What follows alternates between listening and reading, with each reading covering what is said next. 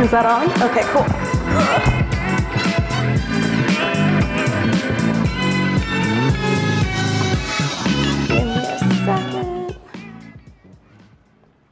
Oh, I need to move that over there. Remembering how to do stuff after having to do like Zoom conferences for a really long time is such a weird feeling. All right, use a separate display. Can you switch to my desktop if it's over there? Oh, it's over there. Cool. Okay, this is sort of working. Uh, let's bring this over here. I swear I did a tech check. Uh, is that full screen? It is not full screen. All right. There we go. All right. Hello.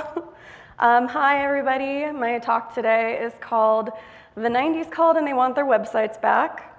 Um, we're going to be talking about basically the history of the evolution of the personal website, the technology that improved it over time, and how current website development in my opinion, uh, has circled back around to the same feeling of how it was to make a personal site in the late 90s slash early 2000s, but I couldn't fit that all in the title.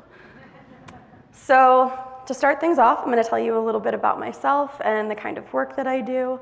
Uh, my name is Rachel White.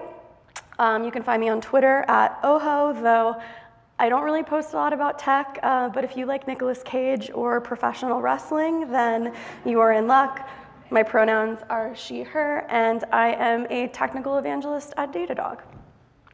So I'd like to show you one thing of my previous work to sort of give you an idea where I'm coming from when I create new projects or talks and why I'm motivated to share these kinds of things in a conference setting. So this is RoboKitty, and after I went to a conference, JSConf US in 2014, and I saw everybody speaking, I was by myself, I did not know anyone, um, and where I worked, my colleagues were mean to me. So I was just like being by myself and checking everything out, and I was like, I want to speak at conferences, and obviously that worked out well for me.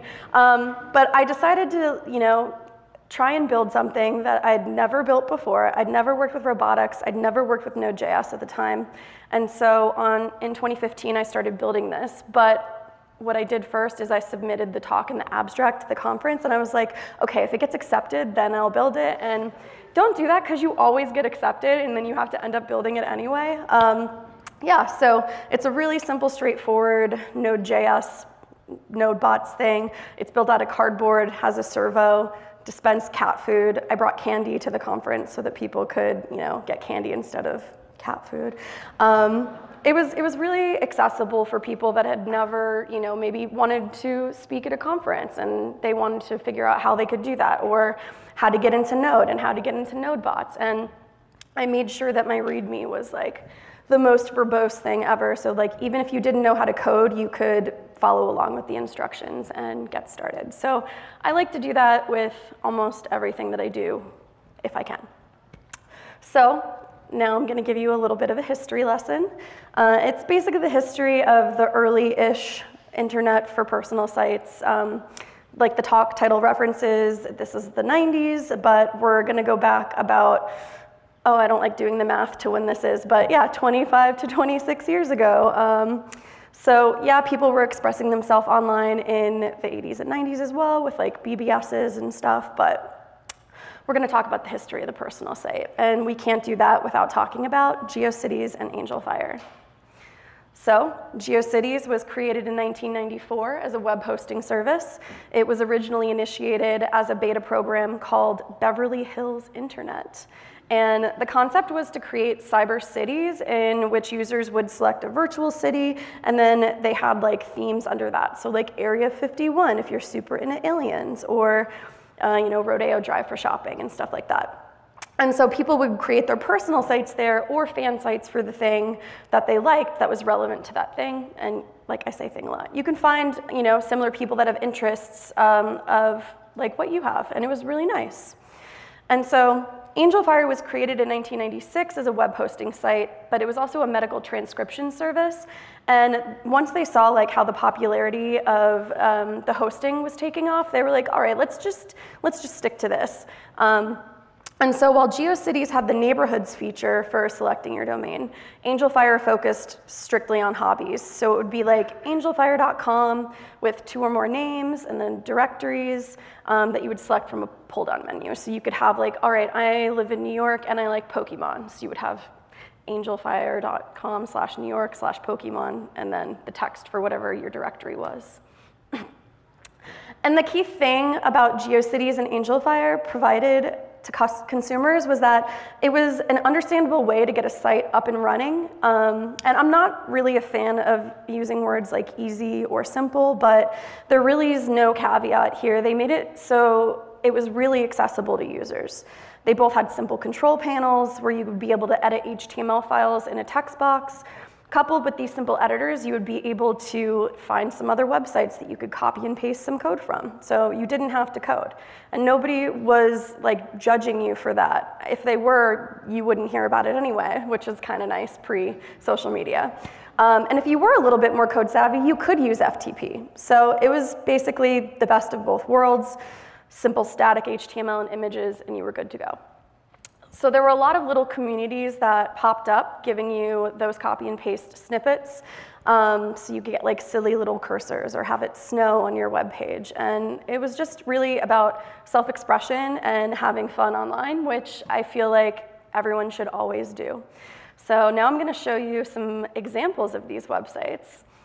Um, so usually when I'm talking about old GeoCities or AngelFire sites and I'm looking for images to use, I kind of feel like I'm stumbling on a stranger's diary because they were so personal.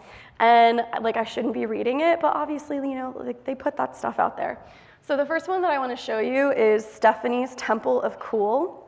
She has a Hanson fan page, a Joe McIntyre fan page. He's from New Kids on the Block, if you know what that is, um, as well as a Fine Guy Shrine. Um, she also included links to pages that had her friends on it and other resources where you could get cool things for your page. My next example is just called Cute Boy Site, and it says, this is a place for girls, but if boys want to see pictures of boys too, I don't mind. So, you know, really ahead of the time. Um, I love the sentiment here, and it ends with, I hope your eyes are going to have a great time, which is just, you know, really nice.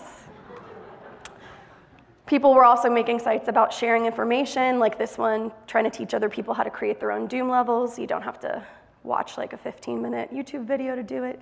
You just get the info there. And then Jerry the Cat homepage, and this was in the Petsburgh neighborhood on GeoCities. Um, I like this one because Jerry the Cat's owners wrote a lot of dialogue about the life of Jerry. Um, so here are some of my favorites. The reason Jerry is so fat is because he can scalp food from anyone. If possible, he would gladly consume five or six normal meals. There's only one reason for this. He was raised by countless admirers who could not help but constantly feed his seemingly helpless butt. and then this snippet. Here's Jerry in the hands of his humble owner. It's kind of refreshing to know sometimes that he remembers. He's a cool cat, but he doesn't particularly like to be touched. And pats are always welcomed, but only for a limited period. Who knows what goes on inside the mind of Jerry the cat? So people would make sites for whatever reason they wanted. Who knows how many people would see it um, or how they would discover it. It's just something that you might have you know, shared with your friends or family, or you would find it from the Explore section. We're not even getting into web rings. I'm not going to touch that. Um, but yeah, so you could just find other pet lovers in the Petsburgh section of GeoCities, and it's really nice. And then in the early 2000s, a lot of things started happening that enabled the desire for more customization and discoverability. So social media started, specifically speaking MySpace in 2003, and MySpace allowed users to use HTML and um, custom images to be able to customize your profile right there on the site. You could also put in some special secret JavaScript that would help you see who was viewing your page, which was definitely a third-party service. Um, so if you were a teenager, you were just like, oh, is my crush viewing my site? And then sometimes it was sad. Um, and then, of course, Neopets, which was founded in 1999. Not a social media site per se, but a lot of people say that they got their start customizing their Neopets profiles. Um, I still have Neopets and they're old enough to drive, which You know, that's pretty cool. So now on the personal website side, we had something else happening in the early 2000s. And in November 2000, a blogging software named Grey Matter was created by Noah Grey. And it's referred to alongside Cafelog as being the inspiration for WordPress, which not a lot of people know. Um, it's, it's really cool. It was maintained by Noah for about two years and then taken over by a community of supporters.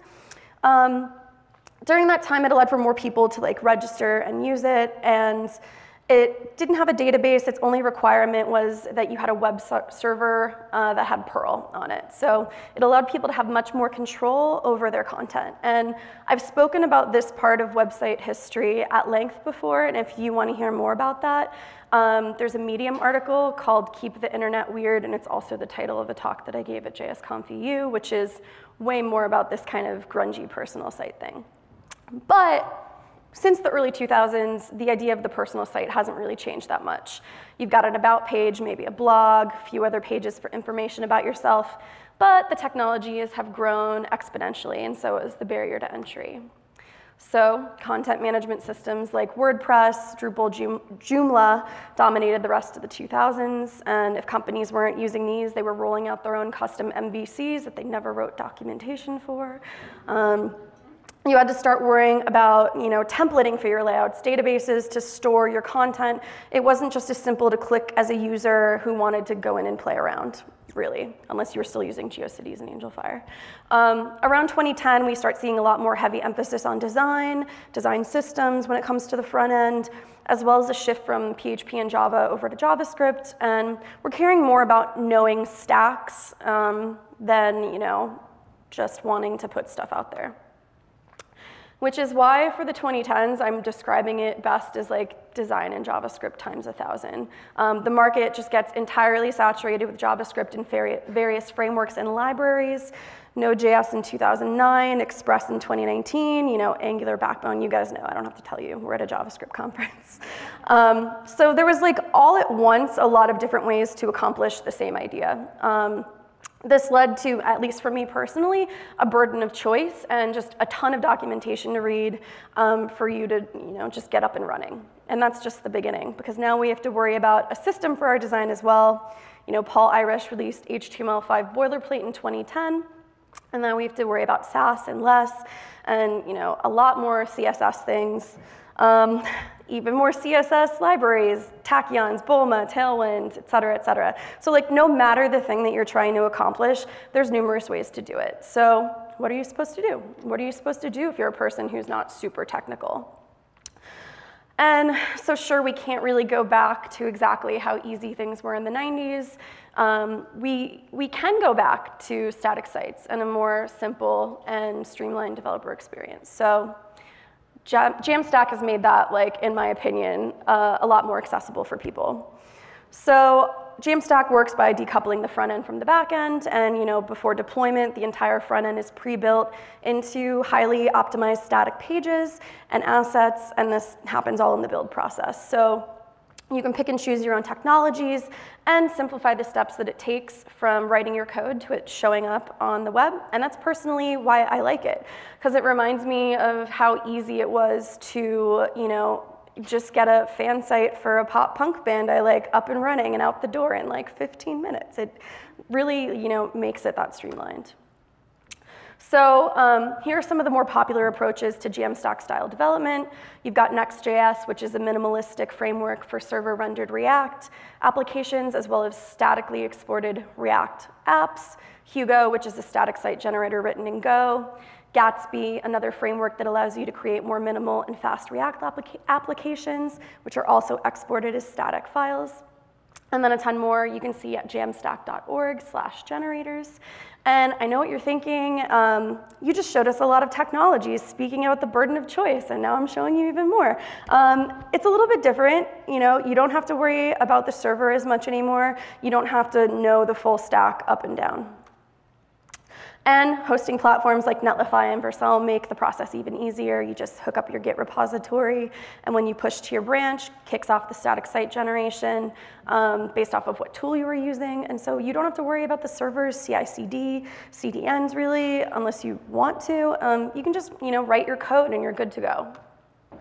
So I had a site in my head for a really long time um, that I wanted to build, and I knew that I wanted to try Jamstack slash serverless. And so let me show you what the project was, how I accomplished this, and how you can get started. So um, I've been to Japan a few times, and when I'm there, I'm obsessed with these photo booths, which are called Purikura. And so in Japan, that refers to a photo booth that um, basically has a station where you take your pictures and there's like a green screen and then you come out and you decorate them and it's really cool and you get stickers. If you have a round one arcade near you in the United States, they have them there. Highly recommend it. So it's just, you know, like a really fun thing to do with friends. And that's an example of the green screen one, and then you move to the next section, which is the decorating one. And this is the funnest part. You've got a touch screen with pens that allow you to move through um, each photo that you took and add adjustments to the photo. So like you can put on makeup, you can draw things, you can add a ton of fun stickers. And um, I really liked doing this with my friends. It was, it was fun. So I knew that I wanted to recreate this experience, but how was I going to, you know, capture that in a COVID world when I couldn't hang out with my friends at the time. So I made Puribooth. Um, Puribooth is a React application generated into static assets. I'm utilizing WebAssembly for ultra-fast image filtering and Canvas for the photo decorating. It's hosted on Netlify, so I can just you know push changes as I need to, and it's automatically built. And um, I'm also using Datadog's real user monitoring, so I'm able to do some live A-B testing. Obviously, I'm not gonna do a ton of user metrics for my own personal site, but it helps because I drew all the stickers and they're not that good. um, all right, so I'm going to give you a demo now. Where's my mouse? All right. Uh, control tab? Control tab, no. How do you get to another tab in a browser? Okay, you know what? I'm just going to hit escape and go to it manually. Oh, it's not there. Cool. There it is. All right, let's go back to full screen. So this is Puribooth. It is puribooth.com, so if you want to try it out now, you totally can. It's fully respond. It works on mobile. um, all right, so, okay, don't tell me what to do. All right, so basically you come into the site, you can either take a picture with your webcam or you can upload a photo. So I'm going to upload a photo of Nicolas Cage. Um, and the next thing that I'm gonna do is, you know, add some filters. None of these images are stored because I don't wanna deal with people doing things on the internet and being liable for that. So it's all just like local cache stuff. Um, all right, let's give him let's do three, no, let's make it cute. Let's rose tint him. And then let's go over to the decorate page. And so this is the canvas part, which is really fun to figure out how to do. Um, you can basically select all of these. I'm gonna make him a cat boy.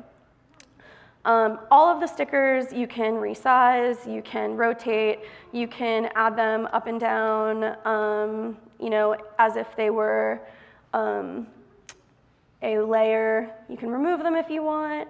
Let's give them a little, oh, those are cherries. That's not a bow. Well, that's good. So I don't want the cherries, so I can remove that, and I'll just add a really cute heart. Um, obviously, I could go real wild on this. Um, let's, let's just give them some more sparkles and call it a day. So then you hit let's share, takes it out of the canvas, gives you an image that you can save. And it's really fast. It's simple to use, and it basically achieves what I was looking for um, from what I missed with those websites that I could use, or that I, or not websites, photo booths that I used to use. So now let me show you how I did that. You come back over here. You go full screen again. All right, so that was the demo, obviously. Um, so now I'll tell you a little bit about the technical details. Um, I knew that I needed a simple React app and that all my components were gonna be React hooks. It's a single page application, so I wasn't worrying about any routing at all, um, which is kind of annoying if you need to start over, but it was quick. So, um, so yeah, so to start out this product project, I used React App Rewired. Um, it lets you tweak the create React app Webpack configs without using eject and without creating a fork of the React scripts. And it's got all of the benefits of create React app without the limitation of no config, which was great. Um, you can add in plugins, loaders, whatever you needed. And I did need some loaders for the image manipulation library, which I'll get into next. So um, I have a lot of experience with JavaScript image manipulation libraries. One particular one that I've used many times before and wish to never use again is called ImageMagick. And so um, it's not fun, and I was like, I'm never gonna use it again. So when I started this project, I was like, I have to try something else. I'm sure there's gonna be, you know, some other image manipulation libraries I could use, like Caman.js, Pica, Lena.js, or Compressor.js. Um, but I decided to go a slightly different route for this because I just, you know, stumbled upon, oh yeah, never again. I forgot I made a little animation. I really hate ImageMagick. Um, so, and the route that I took was Photon. So Photon is um, an image processing library in WebAssembly that runs both natively and on the web. Um, I chose Photon because it's four to 10 times faster than JavaScript. Um, it also has over 90 fun functions built in already, including some filters, um, channel slash color manipulation, resizing and correction. And so it took a ton of the heavy photo manipulation work out of the way. And there was also a quick start uh, for Node. So it was really easy to grab the package and easily adapt it. Not, I'm saying easy again, but you know what I mean. It was, it was fairly straightforward to adapt it down to like the drop-down filtering that I needed. Um, and the configuration override that you need for the WebAssembly to work with React was also in the Photon repository. So I didn't have to overthink that part either. And finally, the last thing, which is arguably like the most important part of the entire project, was the sticker decorations. It was also the most difficult um, when dealing with canvas elements.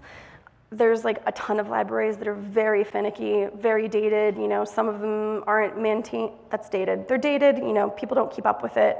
Um, and I did not want to write this from scratch. Um, so I used Fabric.js. It fit like all of the things that I needed for it. It allows for the images to be resized, rotated, and dragged.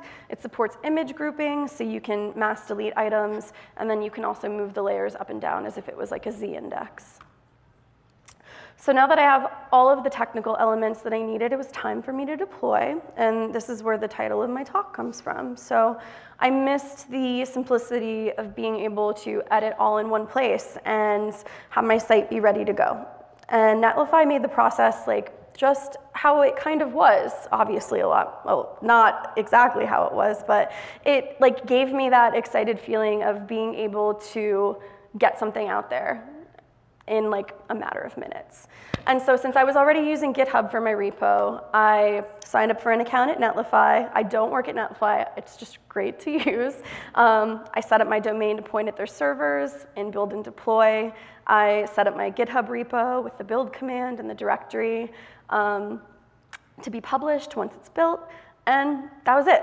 Now, every single time I push to my main branch, Netlify knows, kicks off that build process and the deploy process. I don't have to go to multiple sites. I don't have to do you know, multiple configurations anywhere. I don't even need to leave my code editor if I'm using VS Code with like the command line built in.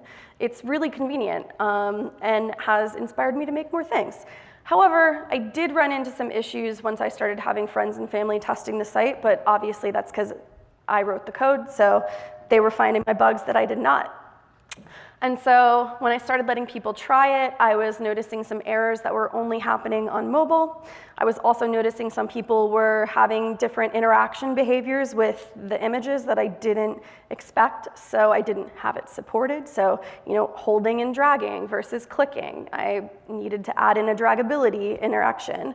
And so the things that my friends and family were telling me they were having issues with were easy enough for me to implement, but um, it would have been easier for me to have like a bigger picture view if I was actually gonna make other people besides my friends and family use it, and that's why I just threw in the monitoring to track user behavior. I put custom clickers on the images, and with a few lines of code, I could like A-B test in the browser and figure that stuff out, which was awesome and quick. And I know this is thank you, but I'm not done yet. So um, it was cool because I, you know, got to hire my friends. I commissioned my friend. Let's go back to the to the one that has like the picture of the Puribooth thing. Um, I got to pay my friend to make this pixel icon for me. I got to pay my friends to make the stickers for me. So like, not only was I making something because I wanted to be able to be close with my friends when I couldn't, I was also able to involve them and like compensate them for it, which was really cool and fun. And so like, by way of all of these new-ish ways that we're able to, you know, come up with an idea and get it out there in the world. It has like reinvigorated my creativity and I hope that this will maybe, you know, inspire some of you to like try some stuff that you haven't been trying out in a while and get it out there and get it up and going. And so I guess to summarize, while the 90s are back in style right now, um, you can also get up and running as easy it was to get up and running then. Um, and if you want to see the code for this, it is at github.com slash Rachel Nicole slash Booth. Um, thanks.